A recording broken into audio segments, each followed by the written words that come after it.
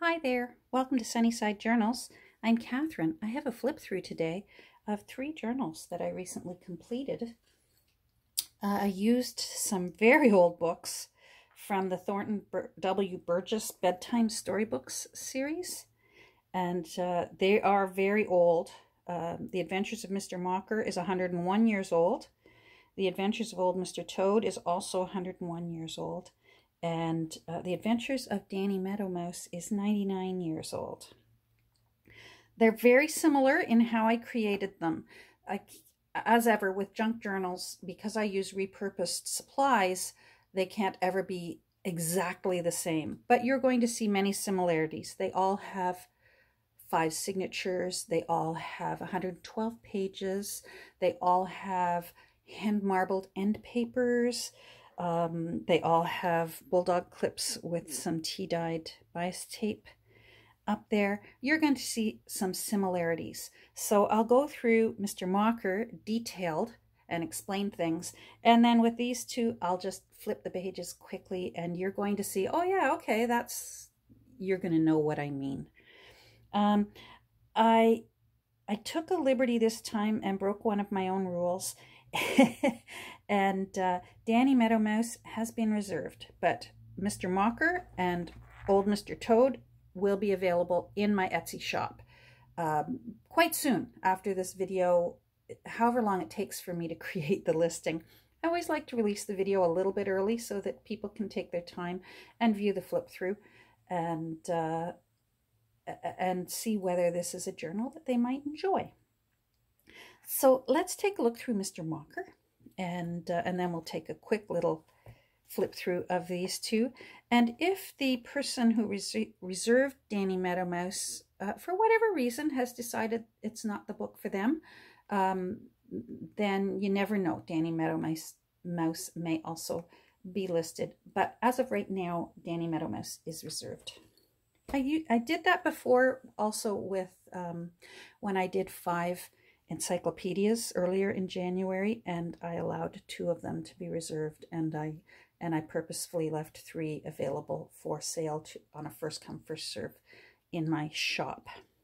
So let's take a look at the uh, size, four and a half inches by uh, six and three quarter inches, and then the spine is one inch.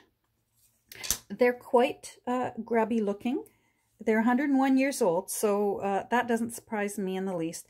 But I have refortified them from the inside out. I've cleaned them as best I could and sealed the covers. And personally, I love when an old book looks like it's been well loved. I have put in a hidden hollow back spine into all of them. And there's also a little bit of lace at the top and at the bottom of each one and a little bit of tea-dyed cheesecloth. Uh, if this isn't your thing, you don't enjoy that, you can trim that off and just have just have the lace and it'll look like that. So I leave that up to the new owner. Personally, I like the way it looks. Now you're going to notice here, um, they all have a lace tie, but I have designed this book to have the appearance that there's just so much wonderful things um, tucked inside that it's spilling out over the side. And I did that on purpose, but you're actually going to see that these are actually affixed and they're tuck spots, which I think is kind of fun. So let's take a look inside Mr. Mocker. So as you can see, hand marbled paper in sort of a woodland theme, which they all sort of have, a slight woodland theme. There's a little label here uh, that you can put your name or whatever it is you wish to write in there, maybe the dates of when you worked in it. This one has a little squirrel there. They all have a different um, animal. And here on this Dutch door, it's called, uh, I've used one of the flower fairies, one of the fairies from that series of books. This is the original first page from the book, and you can see there that it was published in 1920. There's five tabs on the beginnings of each signature, and they're all different and mismatched. You will be seeing um, some of you who are who have been kind enough to send me Happy Mail. You're going to see quite a bit of Happy Mail in here. So for example, the tabs came from Happy Mail and, and such. And if you see something that you sent me, please know I'm very grateful. Thank you so much for that. As ever, everything in my journals comes from other sources other than a big box store or digital prints. So I go to thrift stores, I go to church sales, I go to yard sales, I um, it can come from estate sales, it can come from VarageSale online. Uh, if it's a secondhand source and somebody has already loved it before, that's what I like to use. Even right down to my papers. I've made a tuck spot here from um, a time card from when you used to go to work and use a time card. Here's a little a little dried flower that I made using a coin uh, protector that coin collectors use. Uh, so you can see both sides of the little dried daisy in there. And that can go there if you like. In here, it's a double pocket. There's a vellum envelope and I made some word snippets from the actual text block from uh, Mr. Mocker.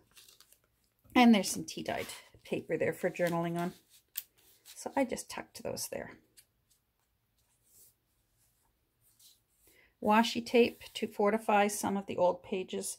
These pages really weren't very good to repurpose. Usually I try to put more pages in when I'm using, when I'm restoring an old book. And the papers were not that good. However, I will be sending along some extra pages when these go to their new homes. And uh, so don't worry, if you wanted to junk journal and create some things, there will be some going to the new home, to their new owners. A little bit of stamping here, a little, little wolf cub. All thrifted sources for all these lovely woodsy colored blank pages. And as with the the book I made recently from As You Like It, wherever possible, I put a torn edge. I like how that looks. A little stamp of an acorn there. This tuck spot is actually um, a tea-dyed wedding uh, table placeholder. And then I've sewn it. And there's a little stamp there with an eastern bluebird on it. But it's also a tuck spot. This is a tag that I've created to be a tuck spot, but to also look like it's falling out of the book. This is a page spread from a butterfly and moth uh, identification little book that's from 1929. So I wrote the year on it just in case you, just so you can remember. And then you can either use that cre to create ephemera or it's just fun to have in there. A little fussy cut tree and a fox stamp right there that I collaged. And I like that Reddy Fox, the character from the story, is mentioned right beside where that little fox is. Uh, this um, pocket was, uh, I received it in Happy Mail, and it's actually from a book. It's a page out of a, a book. And then I used a recipe uh, divider card, and I used the letter M for Mr. Mocker. And just tuck that in there, and you can journal on that if you like. Little bit of lace along the edge that I have sewn. I've left all the threads long in all three books. If that's not your thing, just trim them off. They've been they've been uh, knotted. A little bit of tea-dyed bullet paper. And this page is out of a children's um, a children's storybook. I believe it was from in the 40s, possibly 50s.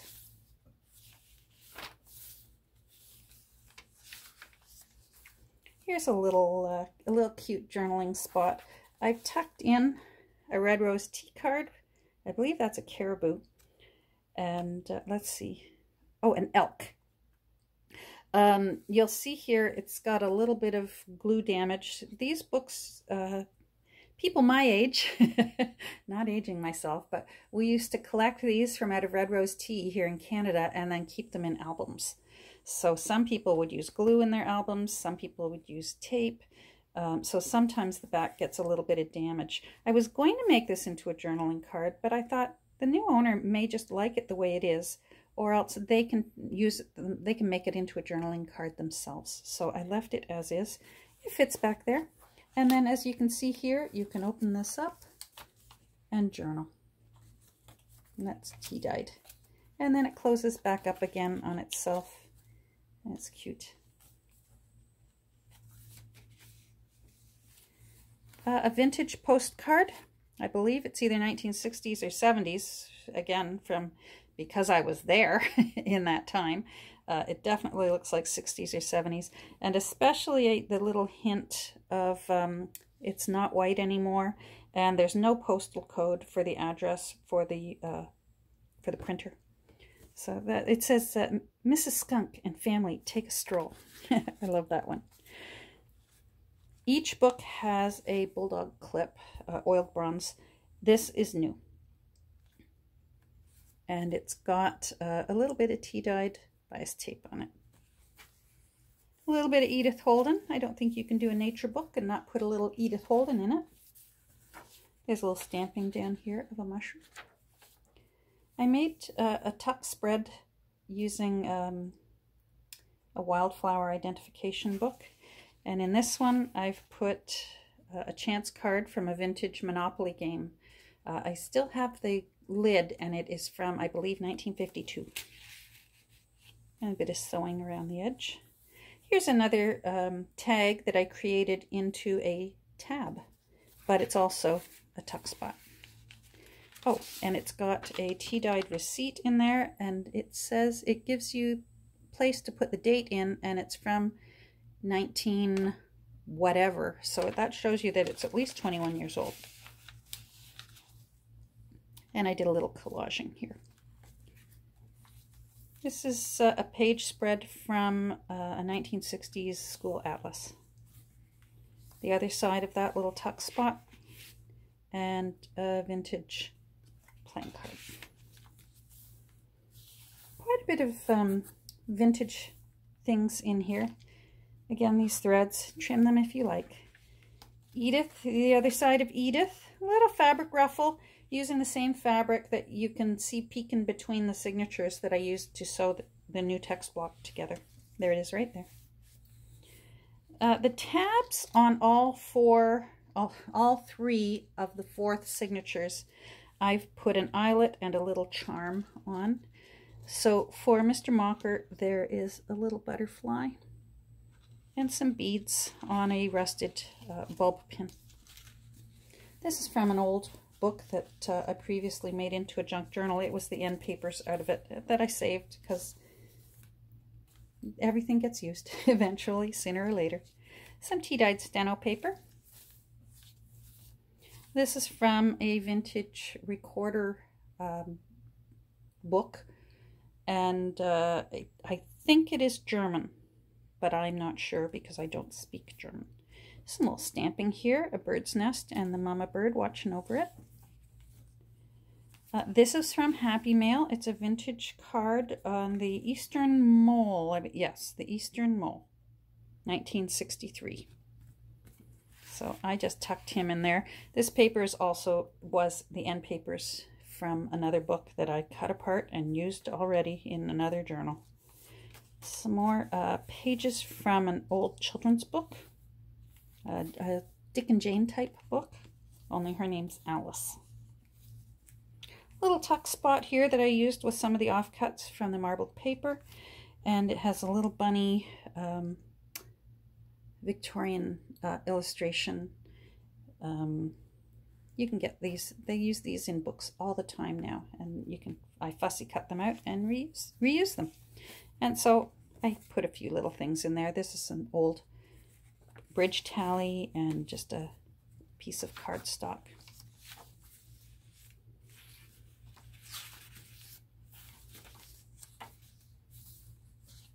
some more lace sewn on. Here's a page out of um, A.A. Milne's Winnie the Pooh. This tuck spot was made from a tea-dyed window envelope. It actually was quite a bit longer. I just wanted the top part with the window. Inside I created a journaling card from a recipe card, an old one.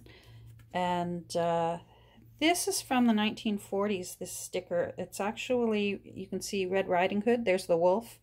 So I put a poisonous mushroom, dangerous. There's a little bit of um, tea-dyed bridal lace there and some of this leftover lace that I used to sew along the edges there. And then the little word snippets that are on the tag here are actually from the, hold on, let's see.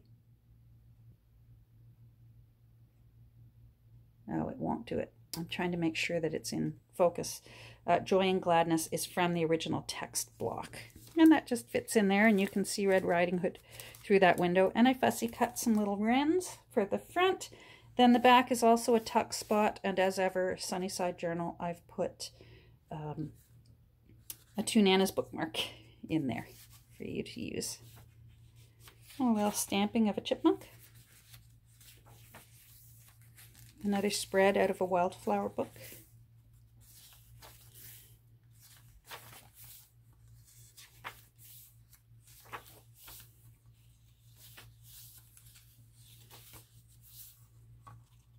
Back of the Winnie the Pooh spread. And then I've put in, each one has a tea-dyed library pocket, and I stamped on it with a, a sunshine on it. And I created a library card for each one. I tea-dyed it to make it look older.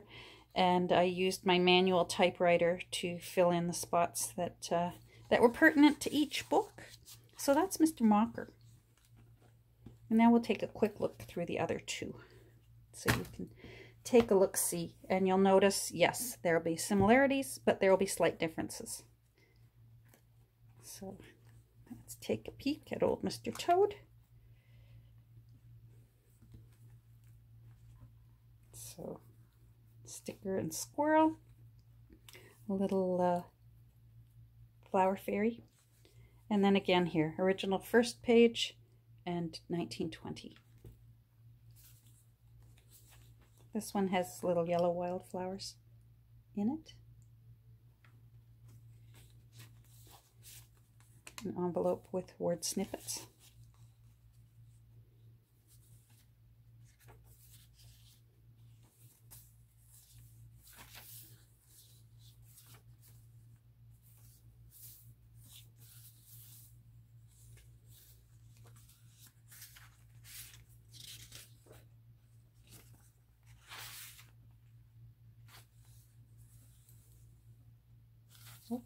Let's make sure you're in camera. Here, I'll show you that again in case that was cut off.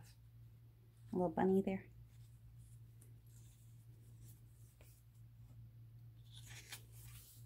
Little owl stamp. I used the letter O for old Mr. Toad on that card. Little lace. I love when there's layering of all different sizes. I just love that.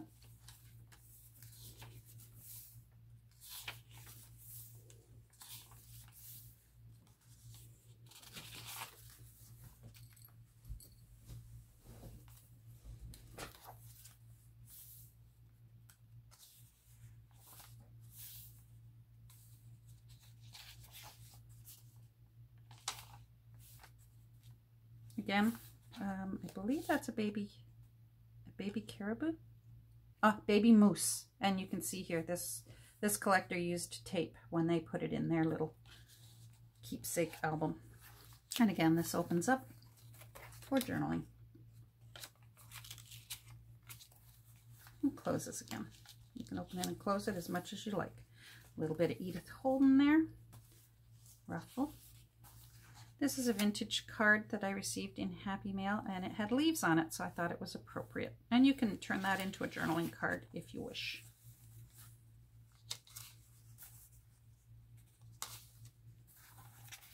Little bridge tally. Little Edith again. Here's another vintage postcard and it's blank so you can journal on it. And once again as far as I can see I believe it's 1960s because the postage due would be four cents. And the earliest I can recall um, when I started sending little letters to friends was eight cents. So and that would have been the late 60s so I believe four cents. I bet my estimate is about right. You can look it up. But I'm going to say early 60s, maybe, no, not late 50s, early 60s. Uh, this Old Mr. Toad has a little uh, toad charm on it. Again, this was a wine charm that I found thrifting. You just never know what you're going to find when you're thrifting. On a bulb pin with some little beads, little green beads. Here's a vintage playing card tucked into this little tuck spot that is also uh, a tab made from a tag. And there's a little wolf on there and some washi tape.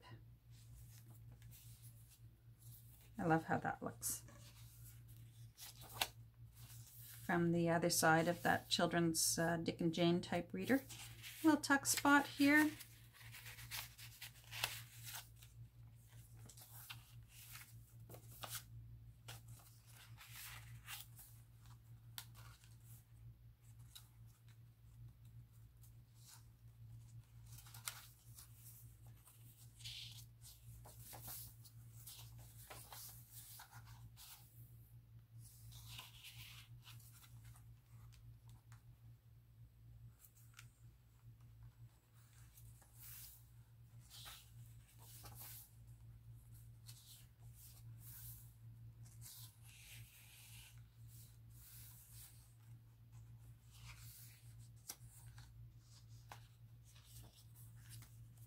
So much room for you to do your own thing.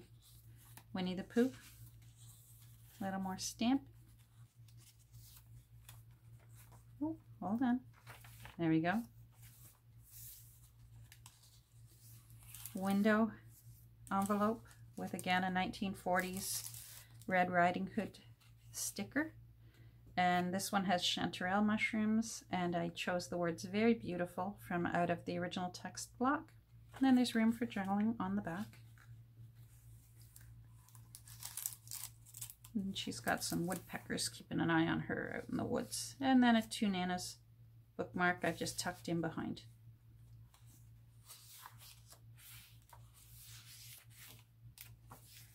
And then again, tea-dyed library pocket and a library card that I have typed with my manual typewriter. So that's that's old Mr. Toad. Now let's take a look at Danny Meadow Mouse. As I mentioned, I did allow him to be reserved, but uh, just in case, if the, if the new owner has decided maybe it's not for them, um, I will do a quick flip through so you can take a look and see. And if you're like me, you just like looking through junk journals anyhow. So as ever, similar but different sticker and a little fox here, the little mulberry fairy, and 1922 for this one. This one has a daisy tucked in there and vellum envelope with word snippets, a little tea-dyed receipt.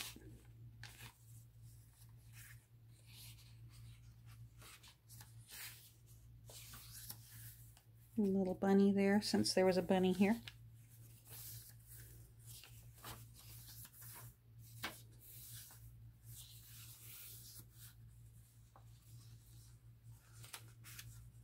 Uh, this is a vintage uh, card. It says deer on it. And uh, bridge card. And then that opens up and you can also journal there. And this is uh, another spread from that uh, Butterfly and Moth Identification book from 1929. And a little bunny munching on some lettuce there. A little uh, collage here with a butterfly and some leaves from New Zealand stamp and a leaf. Lace sewn on. This one has a D for Danny, for Danny Meadowmouse and it can be journaled on. There we go. And that's that, that German recorder music page out of the 1960s school atlas. The wolf cub.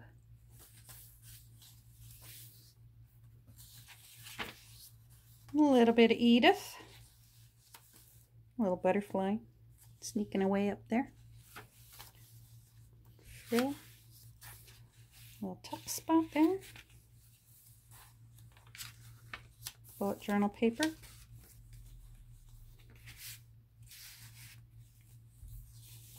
Little chipmunk. This one is a red squirrel. And again, journaling space that you can open and close as much as you like.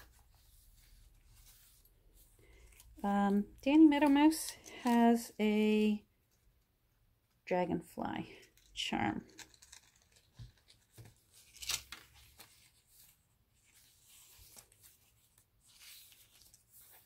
A little tuck spot here on the tag that is also a tab on Winnie the Pooh page. And then another tuck spot here with the vintage playing card and a little piece of paper for journaling on.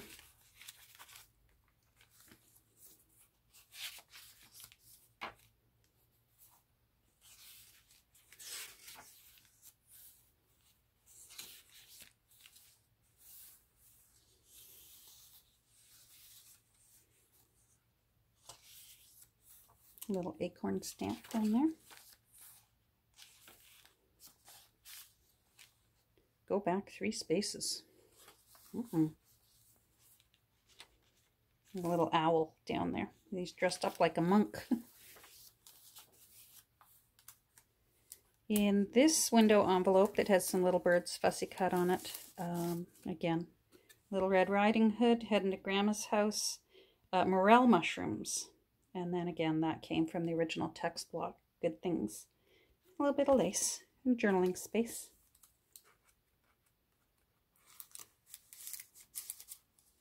And two nanas tucked in the back.